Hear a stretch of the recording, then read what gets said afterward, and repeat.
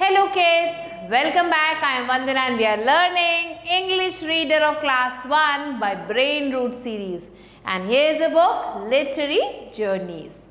Today we are going to start chapter number 9 and the name is Magic Words. So yes, we are going to learn magic words in this chapter. Let's start with the warming up. Polite words like please, thank you and sorry show appreciation and respect to others तो आपको तो पता ही होंगे magic word कौन कौन से होते हैं? किसी को प्लीज़ बोलना, किसी को थैंक यू बोलना और सॉरी बोलना। तो अगर आप ये तीनों वर्ड्स टाइम टू टाइम बोलते हो तो क्या है?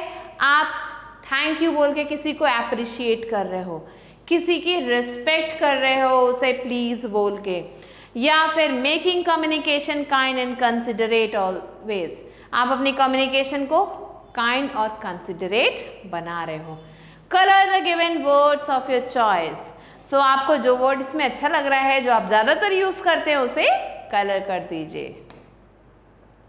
So this is a poem let's read it please thank you and I am sorry are such nice words to say so poet कहते हैं कि प्लीज़ किसी को प्लीज़ बोलना थैंक यू बोलना और आई एम सॉरी बोलना, ये क्या है बहुत अच्छे वर्ड्स हैं किसी को बोलने के लिए। To teach and your friend for what they do each day आप अपने टीचर को ये वर्ड्स बोल सकते हो, अपने फ्रेंड्स को ये वर्ड बोल सकते हो, क्योंकि वो आपके लिए रोज बहुत सारी चीज़ें करती हैं। Please I need some crayons now thank you if I may and sorry I did not hear तो ये तीनों वर्ड्स कैसे यूज़ करते हैं? आप बोलते हो please I need some crayons now क्या तुम मुझे थोड़े से क्रेयॉन्स दे सकते हो? तो आपने रिक्वेस्ट की तो आपने प्लीज़ बोला। फिर क्या बोला? I thank you if I may आपका थैंक यू अगर आपने मुझे क्रेयॉन्स दे दिया। And sorry I did not hear मुझे आपकी बात सुनाई नहीं दी, इसके लिए sorry can you speak that again so what is that you say इन तीनों में से कौन से वर्ड को आप सबसे ज़्यादा यूज़ करते हैं? Please thank you and I am sorry are such nice words to say ये कितने अच्छे वर्ड्स हैं बोलने वाले. Try them once and try them twice इन्हें एक बार बोल के देखो, दो बार बोल के देखो. You will like to talk that way आपको उस तरीके से प्लीज़ सॉरी और थैंक यू यूज़ करके बोलना अच्छा लगेगा। So this was your poem children quickly have to learn it now let's move on to glossary nice means happy nice means good. Here means listen. Twice means two times. Say means tell each means every and need means want once एक बार चाहिए कोई चीज now let's move on to exercise comprehension a part which is multiple choice questions so the rhyming word for say is say का rhyming word क्या है क्या वो friends है no क्या वो day है say day yes it is day Now when we need a pencil we will say जब हमें कोई चीज़ चाहिए किसी से पेंसिल चाहिए तो हम क्या बोलेंगे किसी से? क्या हम प्लीज़ बोलेंगे?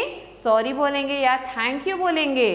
So we will say please give me a pencil please I am sorry and thank you are dash words कौन से वर्ड्स हैं ये? बैड वर्ड्स है क्या? नाइस वर्ड्स हैं बिटर है या फिर रूड हैं? सो so, ये नाइस वर्ड्स हैं अच्छे वर्ड्स हैं। Now let's move on to fill in the blanks using help box. तो help box को use करके हमें blanks को fill करना है. So here the first one is dash, thank you and I am sorry are nice words. So please, thank you and I am sorry. We should use these magic words once and twice. So it is twice here. So twice and please. We should use. Right here, use. I dash if I may. So what you are going to write? I thank you if I may. So let's write here. Thank you.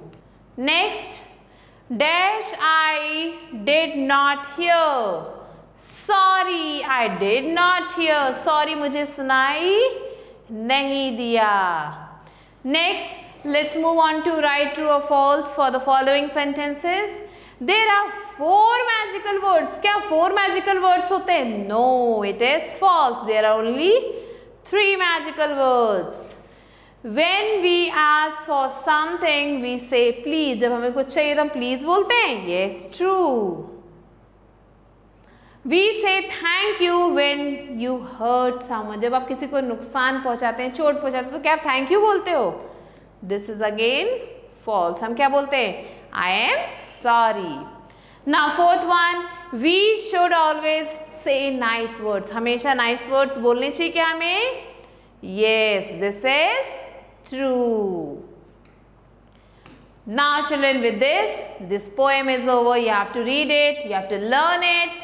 And use these magic words in your daily life. I'll be meeting you soon children with a new video. Till then, stay tuned and thanks for watching.